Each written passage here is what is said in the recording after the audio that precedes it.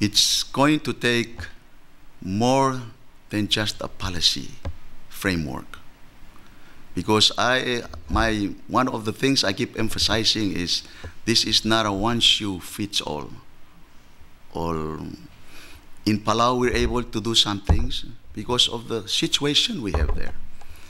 But I tell you, in Hawaii, there's also a lot of good things that can happen outside of Honolulu or throughout the state of Hawaii. But it should be tailor made to what the community wants. Because if the idea comes from the community, then I tell you the governor is more willing to listen to it. The state the legislature and the municipal councils, I think they would readily be supportive of it than if it came from the federal government or from the, uh, the state government. So it's all about community empowerment. It's all about community management plan that you and I are willing to go through outside the box method to make sure that there is a polylegal way to do it. And I might add, this is not just a matter of conservation. You also have to have the sustainable financing for this. So what did Palau do? We now have probably one of the most expensive green fee that our tourists pay, $50 when every tourist come to Palau. But surprisingly, when we did the survey, the tourists were very happy to pay the $50 because they saw that it did not go to the national treasury to support the operations, the normal operations of the government. It was going back to support the enforcement of the protected area network, the conservation areas. So people who come to Palau and appreciate the beauty of the environment realize that they can also be a partner. They can also play a part in sustaining and in protecting these wonders for the next generation. So that's, that's an important part of this consideration. There has to be some willingness of people to sacrifice, willingness of people to see that whatever, whatever plan it is, it's a community enforced uh, policy that is not good just for us, but for generations to come. I will end my remarks now because I think if you have any more questions on this, you can ask. But I am here as a fellow islander to seek your support in thinking outside the box and doing something not because we inherited this, but because we need to make sure that our future children also enjoy it. Thank you very much.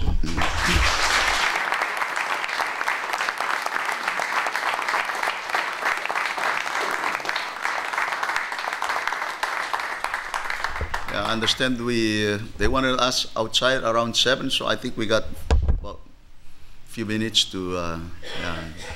So please, uh, I know you can't ask questions to the pastor when he's, when he's over here, but I think that.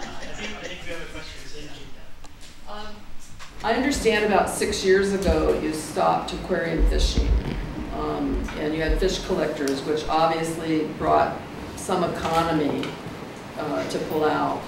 Uh, how did you make that transition with the people who were aquarium fishery people that that was their econ you know that was how they made a living so how, how did you address that for one thing there weren't uh, too many companies or people involved in, uh, in this uh, there were i understand there were two or three companies that were doing this um, but if I didn't say it enough, I want to stress the fact that research is a very important part of the justifications for things that we do. And uh, we are fortunate that we have the Palau International Coral Reef Center that actually, over the years, did most of the research that we can then, based on those research results, do policy work on or do regulation policy on it or work with Congress to pass those legislation. And so the research actually helped us to say that this was not something that would sustain us. Um, they were able to do very good investigative work which showed that uh, it was not done properly at the time by those people. And so it was easier for us to just put a stop to it. Um, because in the end of at the end of the day, it's always weighing on a scale what is in the best interest of the people and what is sustainable and what is not. And Marty, I saw you, you go first. Thank you so much for coming. We're working our way through some regulations uh, with West Hawaii Fishery Council and with the, the uh, Board of Land and Natural Resources. One of the uh, suggestions, and we have about 2,000 people that have been involved through the years with these uh, regulations.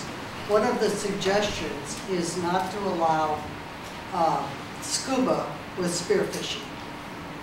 I think that that might be something that Palau disallowed. I don't know that. I wondered if you did. There's been a, a quite a bit of objection to using, to not using scuba we did that in 1994 when we uh, uh, did the, the law to ban fishing with scuba equipment. I happen to be a fisherman myself. That's why I found my wife, uh, because I.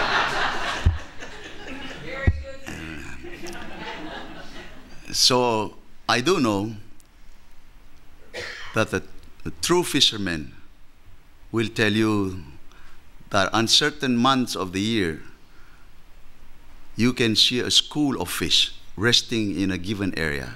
For example, the giant parrotfish that can easily weigh between 45 to 80 pounds in sizes.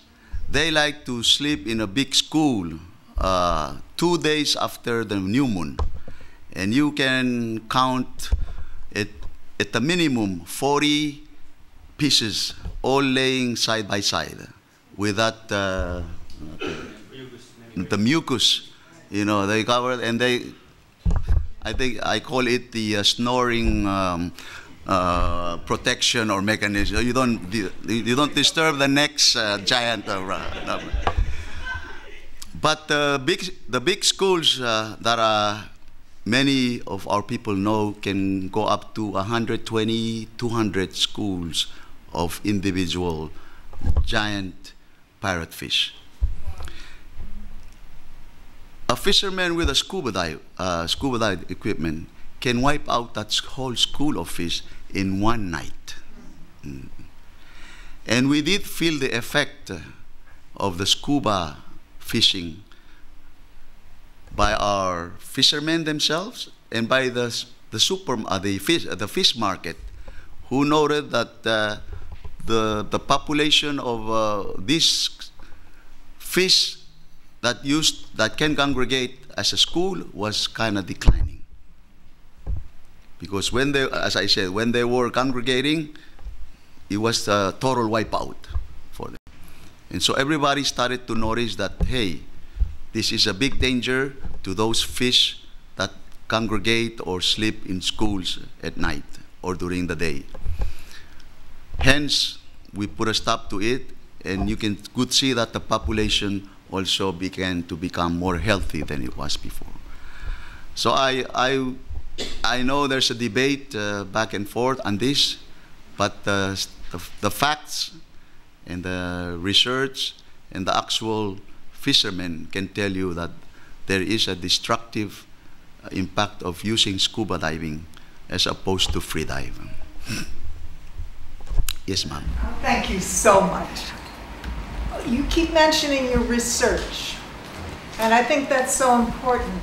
How can we access any of these research efforts online or elsewhere? Uh, the Palau International Coral Reef Center is uh, US funded and Japan funded. It was called the Common Agenda Project.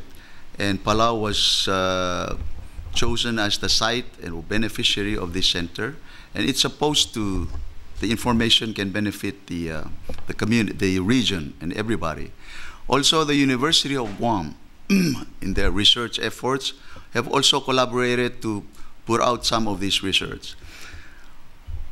I will tell you that one of the most uh, effective research results actually show that uh, if we open the, the whole reef to 365 days of fishing, seven days a week, the population of this reef, this coral reef, would not sustain itself for a very long time. If only you would designate one third of this area as a, a no take zone, then actually this one third repopulated and reju- rejuvenated the two third and made it a more sustainable fishing area for, for anybody. Now, this actually only reinforced what our forefathers already knew about fishing along the coastline of Palau. They always told you don't overstress fishing on a particular area. You fish despite a good day, you move on to another area. Let that area heal itself. Let the wounded fish uh, heal themselves. Let the spawners spawn. And so you would, by the time you came back to the to the original area, maybe six months at least or eight months has lapsed. That was the rotating way of, uh, of fishing. And actually, the research reinforced exactly that. You don't have to close the whole area as a no take zone. Just make sure that one third of it is uh, no take, and that will be enough to balance the two thirds that you can fish 365 days of the year. How are you dealing with invasive species? Because that's one of the biggest problems here in the Hawaiian Islands for the last two centuries. Everything's come in here from everywhere else on the planet. How are you dealing with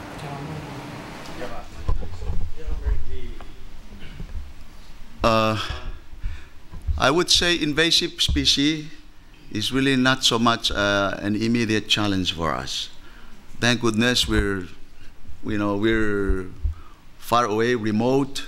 Uh, the ships uh, don't carry as much uh, invasive species like Guam, for example, our neighbor, which have a very active commercial port. Uh, there's a lot of invasive species there.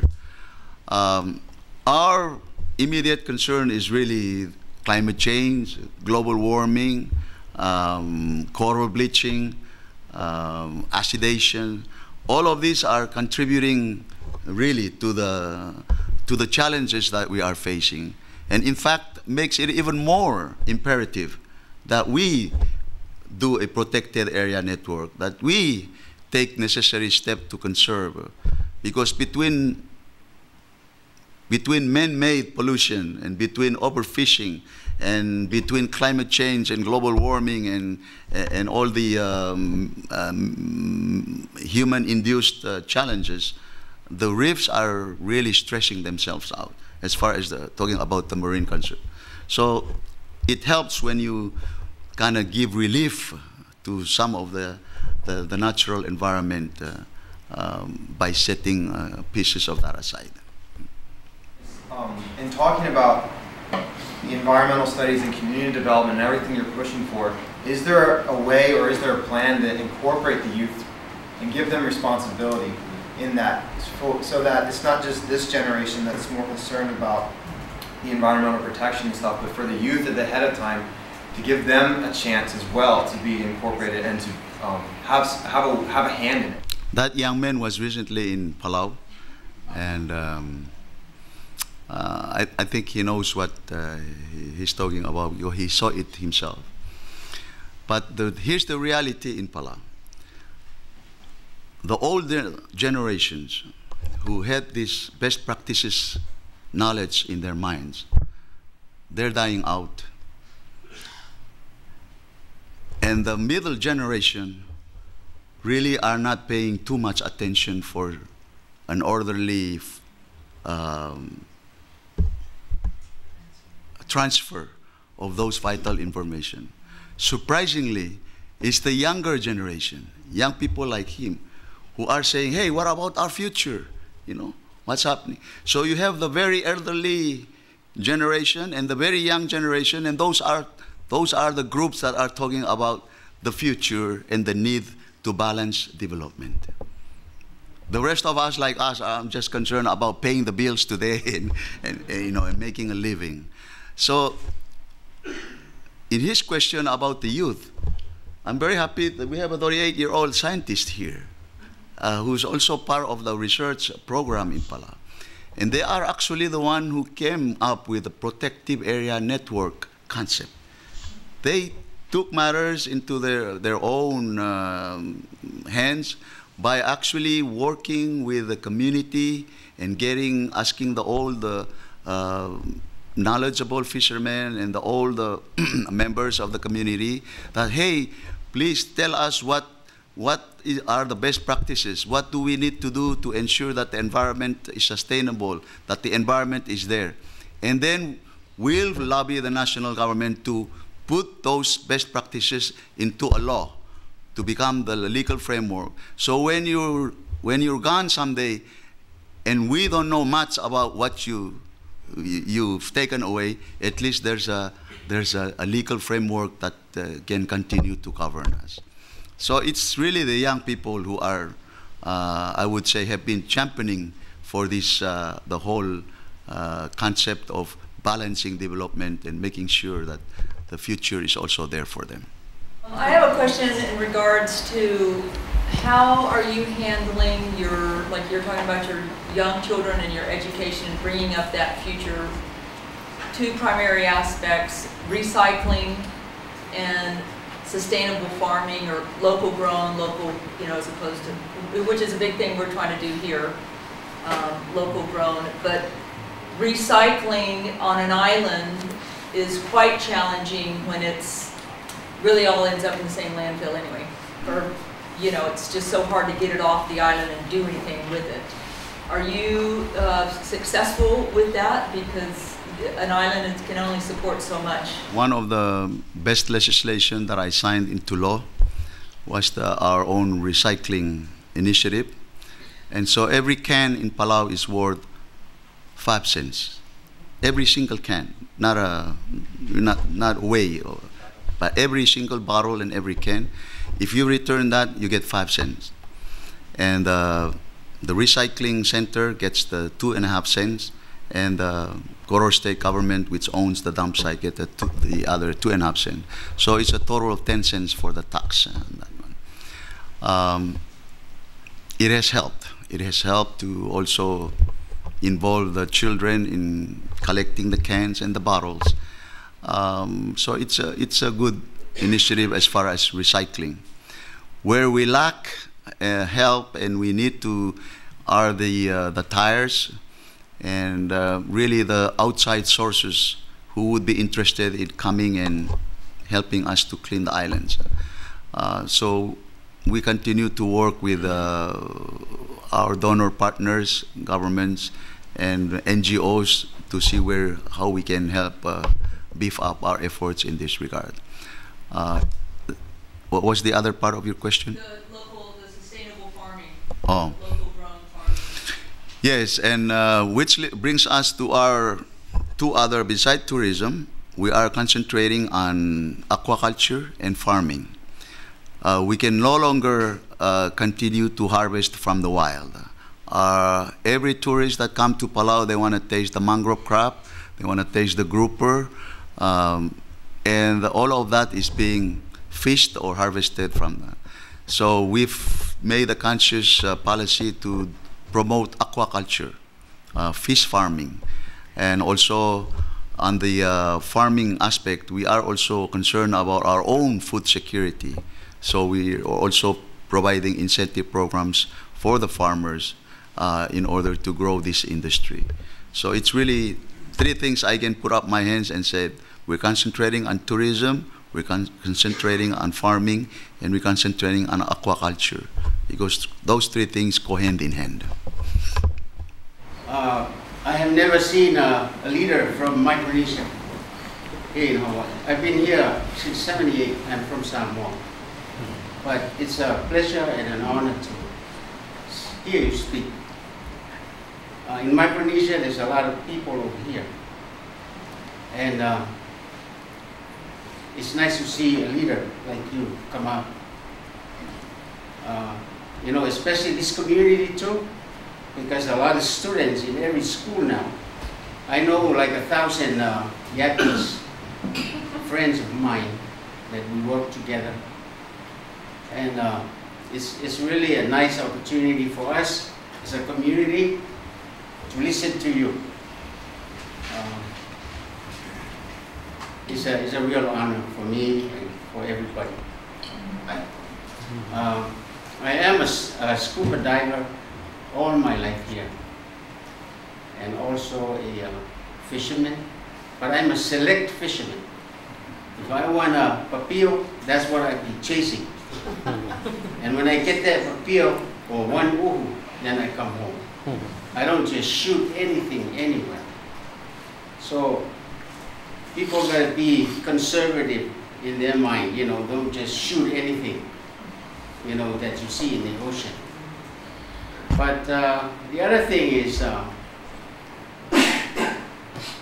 you know, uh, we have conser- conservation people coming into the island.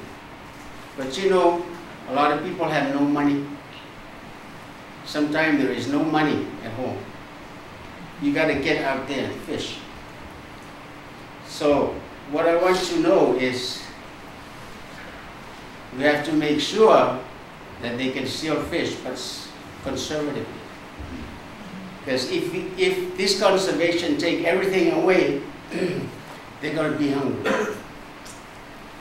And uh, I can understand uh, where the conservation people are. But me as a fisherman myself, I'm very conservative. Select fishing. So that would be something, you know, uh, that could be taught, but don't take away the whole island, the, the, the whole area where people need that fish to eat. Yes, and I think that's the point. Uh, at the end of, uh, of the day, that's the point that needs to be made. Is that there has to be a middle ground where we can all acknowledge that we cannot be too extreme on one side or or, or another side. That there is a, a proper way, that there is a planned way, that there is a better way in which we can sustain ourselves. Because the life of the fisherman is not just for today. The life of the fisherman is 10, 15, 20 years, 30 years from now also. So this is all about, you know, sustaining, and that's the key word here. And by the way, I'll just share this with you. My father, my grandfather, would always say to us that the worst invention that man made to the population of the marine fish is the ice box. Imagine if there was no ice box. uh, we would have select fishing uh, or balance fishing or, but uh, yes, I'm sure everybody else here has mentioned. Um, I'm an educator, and I'm very concerned about, you mentioned the, the success that you've had with your programs and the importance of aquaculture.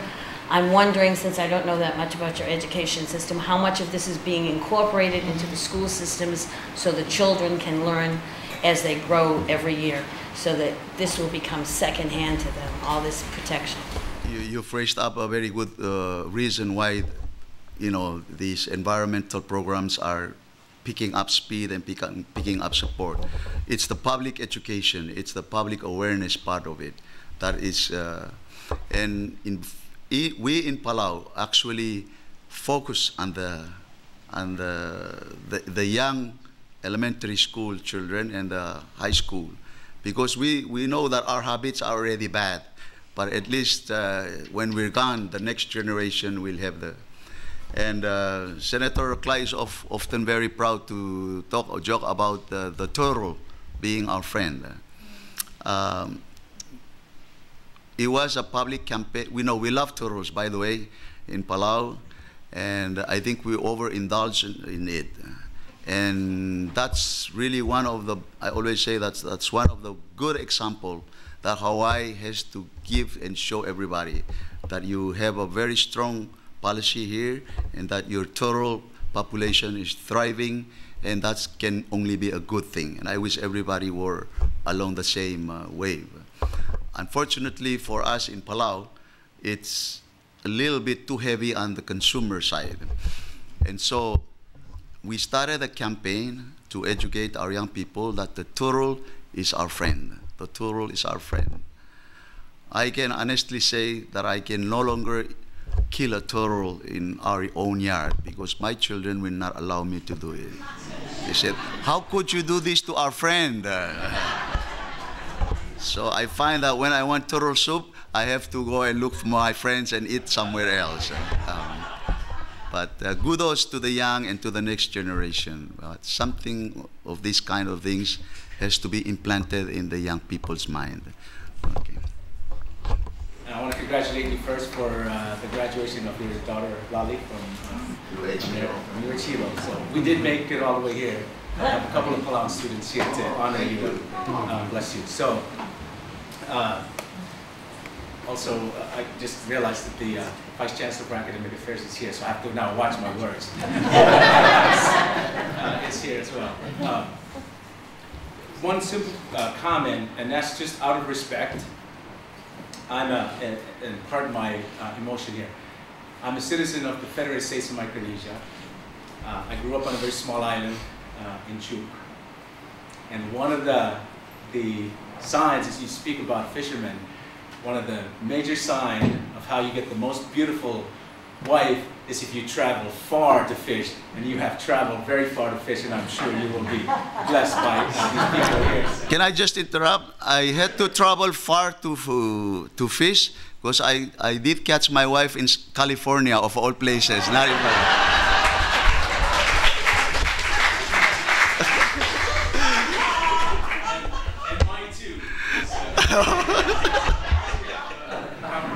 Uh, the last thing I want to, I want to say, uh, ask the director of the Pacific Islander Student Center at uh, UH Hilo. Uh, I just want to lay a, uh, an honorable and respectful challenge to, uh, to the government of Palau to work with us. To be able to send our Palau students, our Micronesian students, our Marshallese students to your country because you are, uh, in fact, the leader and the inspiration of the Micronesia Challenge. Uh, and so I just want to honor you for that. And I, I lay that on you. I know we want to get out there and get some food. The island way. Thank you. Thank you. Let me just say that while he recognized my daughter, I want to share this information with you.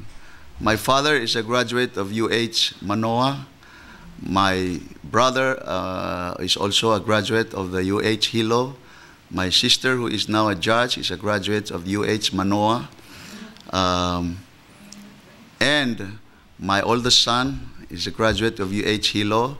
And now my oldest daughter just recently uh, graduated from UH Hilo. So again, uh, this is the island way. We support and help each other. And I am always, uh, uh, it shows that Hawaii has done a lot of good things for the islands and for the region. And in hopefully in a small way, Palau can also cooperate and collaborate with Hawaii to put out a good, sustainable program for not only our reef, but our land. And I thank you and I ask for your blessings on this as we move and think about the next generations to come. Thank you very much, ladies and gentlemen.